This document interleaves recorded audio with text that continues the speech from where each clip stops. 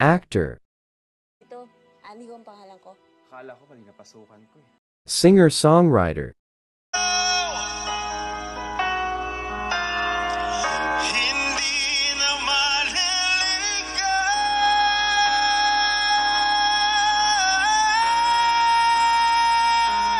TikTokerist, She say she wanna dance, but she don't know how to. breadwinner, Hi, I'm Aaron Mendoza from Caloocan City. Tara, samahan niyo ako and get to know me more in this video.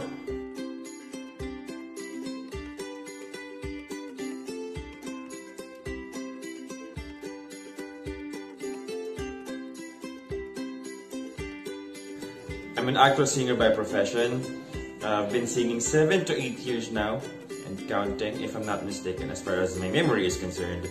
Um, bago ko pasukan ng pagkanta at pag-arte, actually, I used to model.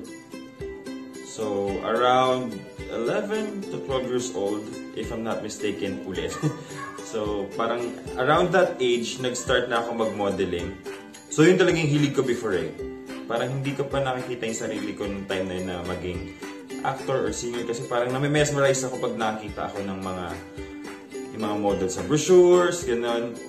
So sabi ko sa sarili ko nung time na yun, balang araw, magagawa ko din mag-model sa brochures or makalakad sa runway.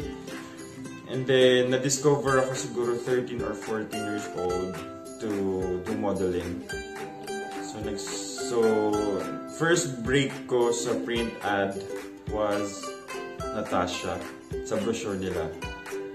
Tapos, nasundan ng Zalora, And then, um, BPO company, until nag-start na ako mag-hit ng runway like uh, Philippine Fashion Week, Filipinas Men's Fashion Week. So parang dun dun naka dun naka-focus yung yung ano ko eh, um dun naka-focus yung yung goal ko na gusto ko maging model. Pero somehow nagkaroon ng turning tables and nag-decide ako na I want to try something more. So, nung na-develop ko na yung singing skills ko and feeling ko kaya ko na makipagsabayan, um, first move na ginawa ko, kung kaya ko ba talaga na mag-entertain as a singer, so nagbuo ako ng banda, acoustic band. Tapos nag-audition ako sa, sa Murato, yung mga bar sa Murato. Tapos yun, until nakakuha ako ng isang pwesto, and then nagtuloy-tuloy na siya hanggang sa nagkakaroon ako ng mga audience, ng regular customers, friends, you know, yung parang customers turned into friends. Tapos, doon ko na-realize na kaya pala. Kaya ko.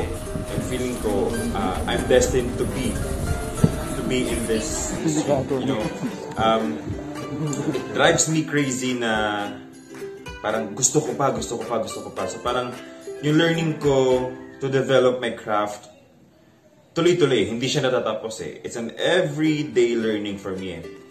Hanggang sa, yun nga, na, na nakapag-decide ako na to, to spice up yung challenge for myself na tipong sum, ah, sumali ako ng singing contest sa TV and sa mga, na never, never akong nakipag-compete sa mga singing contest kasi parang feeling ko it's really not my thing eh. Kasi I, I, I hate competitions to begin with. Parang gusto ko lang mag-entertain. Pero wala, na, ah, nasabi ko sa sarili ko na I really need to do this. I need to break my own record. So yun, um, pinasok ko yung singing contest sa TV, like yung sa tawag ng tanghalan. Gaya nito. So itong picture na to, um, ito yung first day na nanalo ko sa tawag ng tanghalan as defending champion. So yes, you heard it right, naging defending champion po ako sa tawag ng tanghalan. That was year 2017 if I'm not mistaken. And surprising fact po is naka-apat ako, yes. Naging four-time defending champion po ako. Given the fact na mga time na yon, parang hindi pa ako ganun ka-confident na lumaban sa singing contest eh. Siguro pag time mo, if it's really for you, it will fall on your feet eh. If it's really for you, it will meant for you. God will give it to you. eh. No matter how hard you you try or kahit mag-hard pass ka pa, if it's for you, darating at darating siya sa'yo. And then sa acting side naman, um, like kaya na to, ito, to, itong video na to, and this picture um, sa ipaglaban mo. So, so scene namin na to nila Jeff and uh, Riza Senon, um, yan yung first ever role ko, mainstream na TV, na medyo bad boy, manyakis, ganyan. Though, though dream role ko yun eh. Alright, and we're done. Maraming maraming salamat po sa inyong lahat. Thank you for viewing. Thank you for tuning in.